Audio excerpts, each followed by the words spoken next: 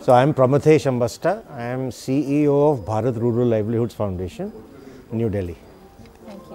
Uh, so hi, many congratulations on Thank you. receiving the uh, Mahatma Award. How are you feeling at the moment? Yes, it's indeed a matter of satisfaction. So I am happy uh, on behalf of my whole team uh, that our efforts have been recognized.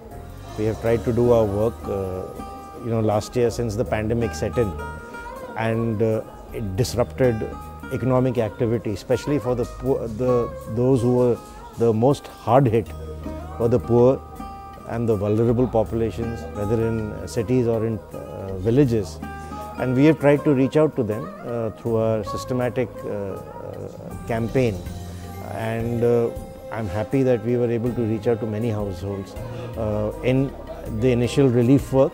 And we are also working for them to uh, build resilience uh, of these poor, very poor households, poor tribal households in central India uh, for, you know, for things which suddenly arise, for shocks that suddenly arise to the livelihoods, whether it's in the room of, uh, in the in the form of this pandemic or it's in any, in any other form.